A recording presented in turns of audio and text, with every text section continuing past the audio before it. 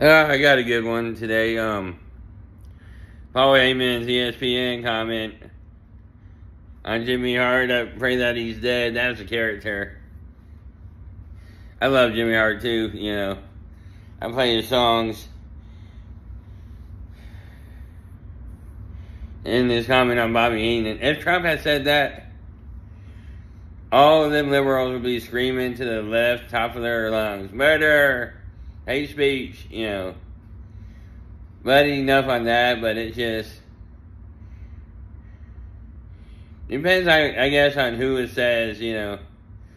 And plus, on Paul Heyman, I'm pretty sure he's not really a Christian, but he wears suits every SmackDown. So if suits make you safe going to church, and I guess he is a wise man, you know. so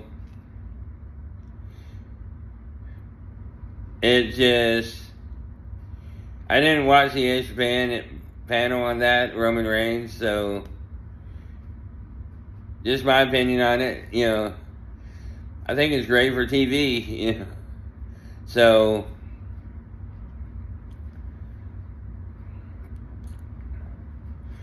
but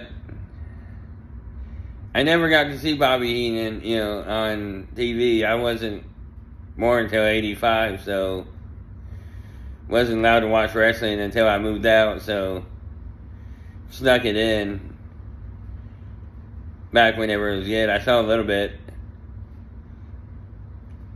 But I always got in trouble, so by my dad, so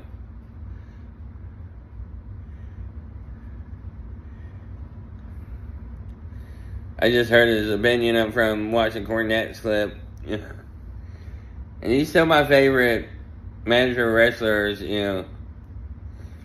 Don't agree with him political, but hey, we all don't have to get along. But respect. So